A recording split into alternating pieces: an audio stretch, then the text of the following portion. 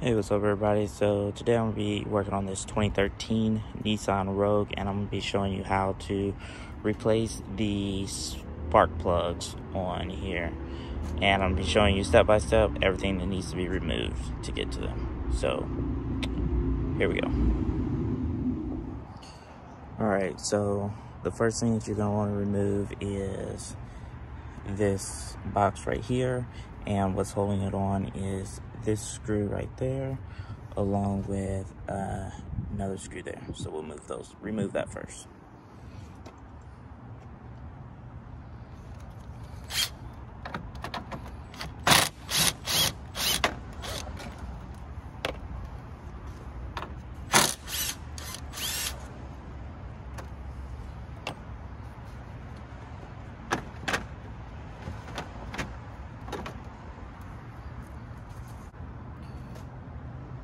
And so the next thing we're gonna be doing is removing the engine cover right here. And in order to do that, there's a 10 millimeter there and 10 millimeter there.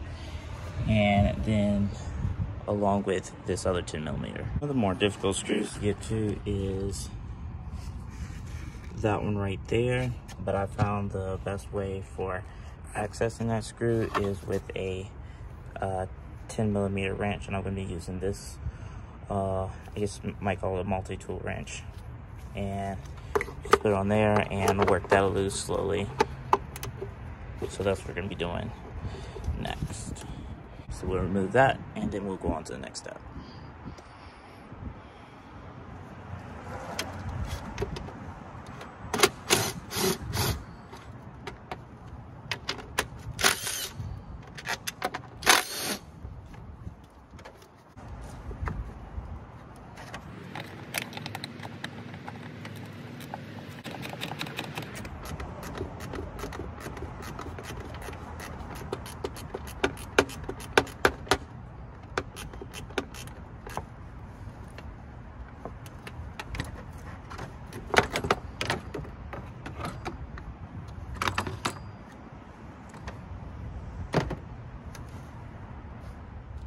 All right, so now that I have the engine cover removed, I like to go ahead and remove this brake brake res uh, reservoir here and the air box.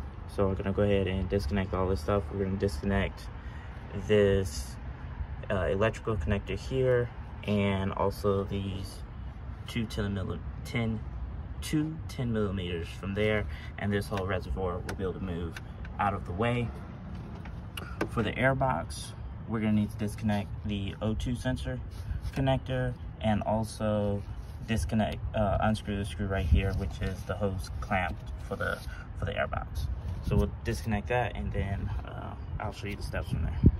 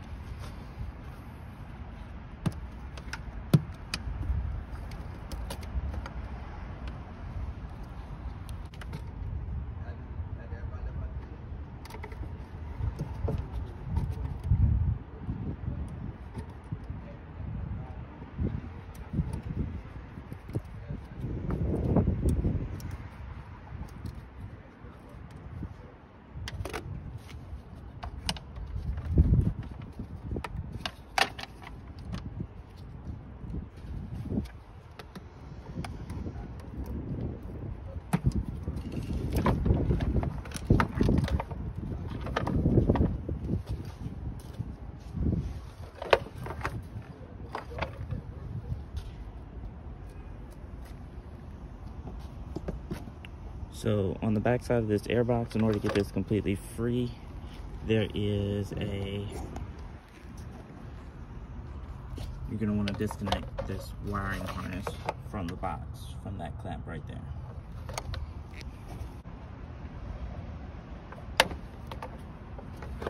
All right, now that's free.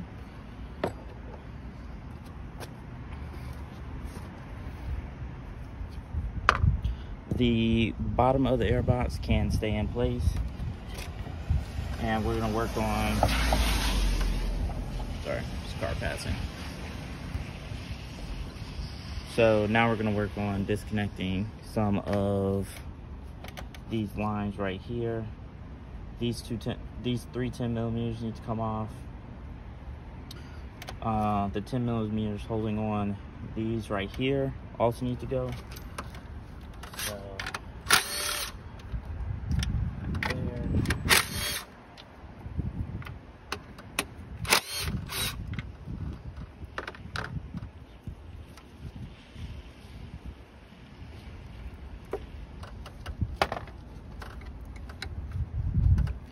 and the other 10 millimeter that needs to go is this one right here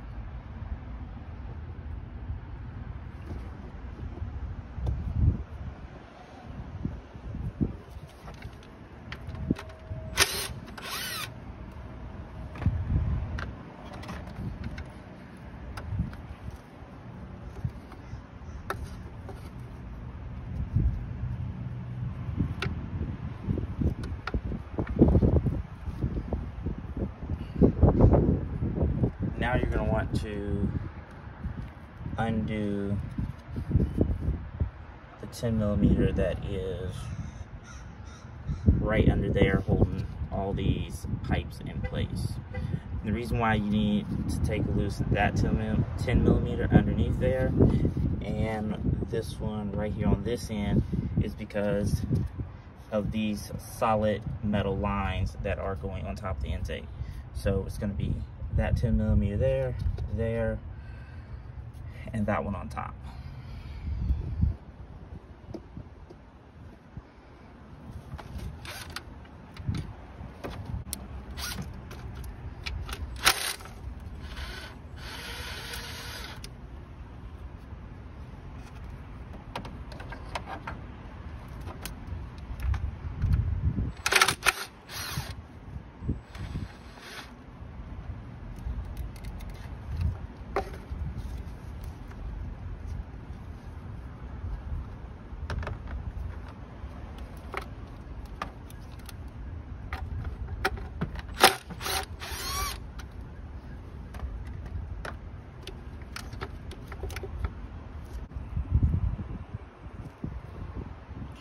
So now I'm gonna be disconnecting this this line that goes on top here.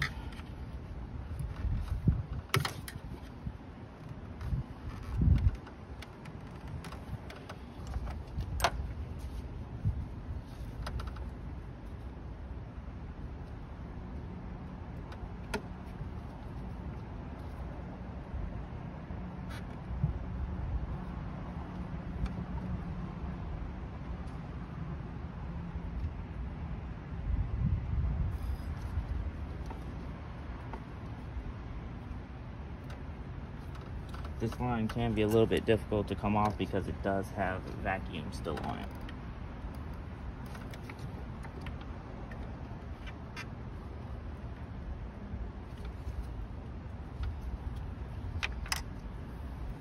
So I might actually just disconnect it from this point.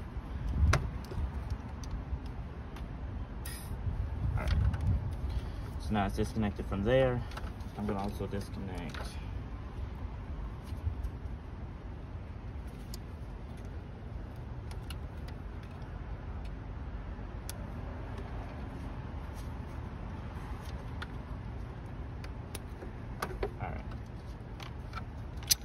So now I have all this disconnected.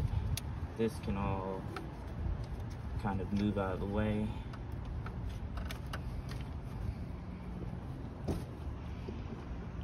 And the next things I'm going to be disconnecting. The next things I'm gonna be disconnecting is these two these two coolant lines that run through the throttle body. This this little clip here, this clip from the bottom, and you'll need these little picks in order to undo those the the most convenient way. Um, the other thing I'm gonna disconnect is I'm gonna disconnect this this line here from from the throttle body from the throttle body because this metal line runs back underneath this whole intake plenum. So the easiest way is to disconnect it from there. Sorry, disconnect that and also disconnect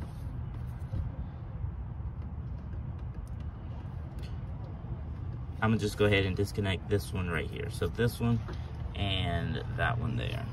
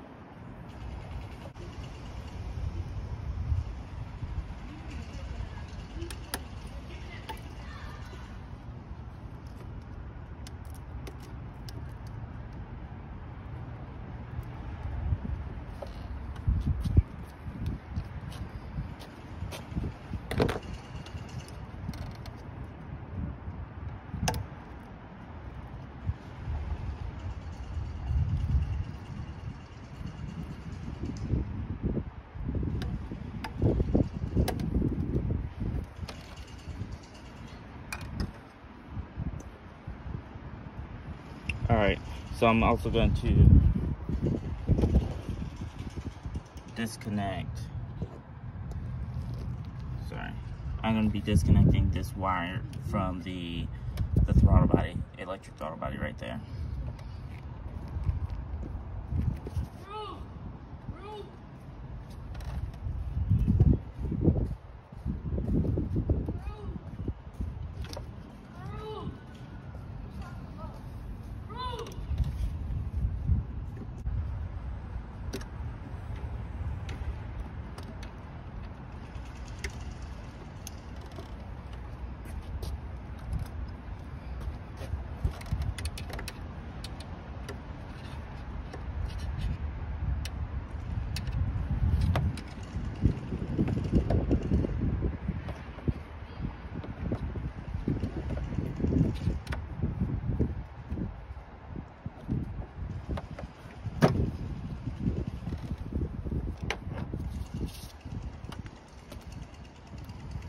All right, so that's pretty much everything from this side of the engine. Now we're gonna move over to this side.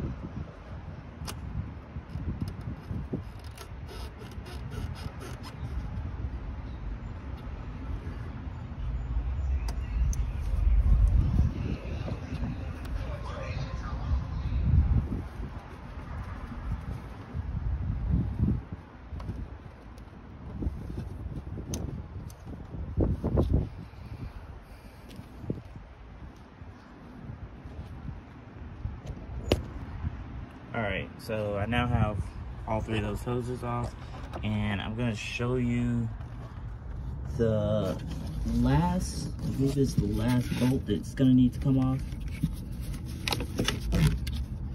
There's a bolt right, right there that holds on uh, this this manifold th that holds on the plenum that needs to come out, and that is a 12 millimeter.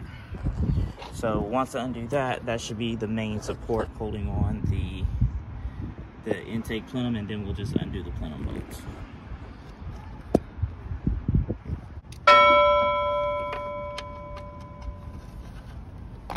So the one back there is actually a 13 millimeter.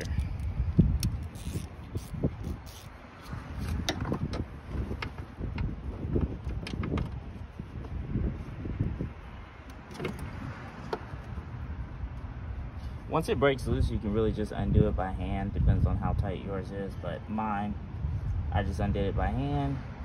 Well, I put used the wrench to break it loose, and now I can undo it by hand. So it's really not that tight.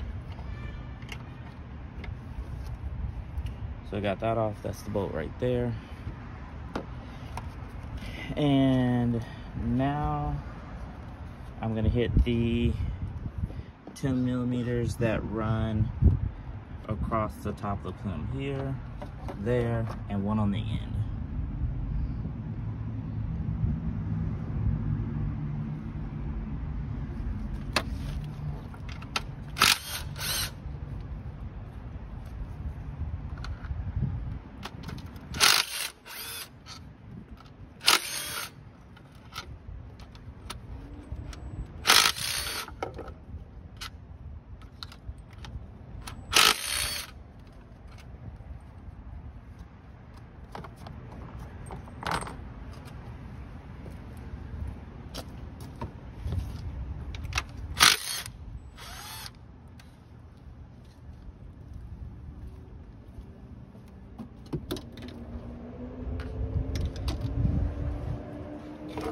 All right.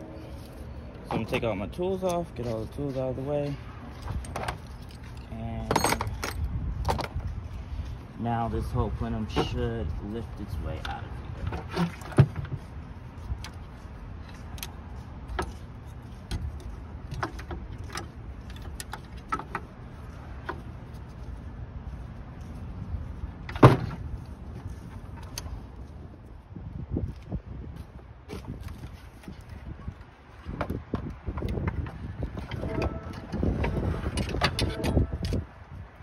All right, so that's how you remove the intake plenum on this vehicle. Um, and I'm gonna show you that bolt that I was undoing on the back side. So that's the bolt you have to undo, that one right there. And that's the one hose with the clamp on it and the other one so the the reason why back to the reason why we have to remove all this is because the number one coil on this on this engine is bad which is this one right here. So i'm going to flash an image on the screen of the firing order for this vehicle so you can uh, take a look at that. And we're gonna go ahead and get that coil changed out so um, and since we have all this already taken loose we're going to also change out all of the spark plugs. So anyway i hope you're finding this helpful. If you are finding this video helpful hit the hit the like button thumbs up and let me know that that this was helpful for what you're trying to accomplish. And then we're going to um, I'm gonna make a little time lapse of putting all this back together and I'll let you hear what it sounds like. So here we go with a time lapse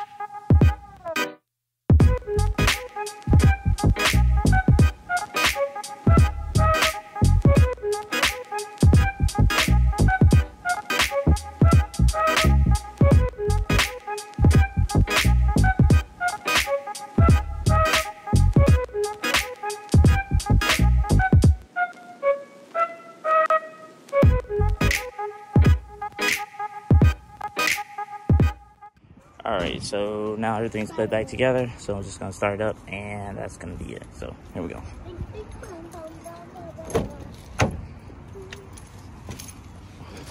So I also disconnected the battery while doing this. That way the check engine light would be reset and wouldn't have to go through any other process to get the check engine light off.